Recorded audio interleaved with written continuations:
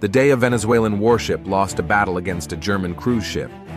In 2020, the luxury Portuguese-flagged ship Resolute, heading for Antarctica, was forced to stop near Curacao due to engine problems.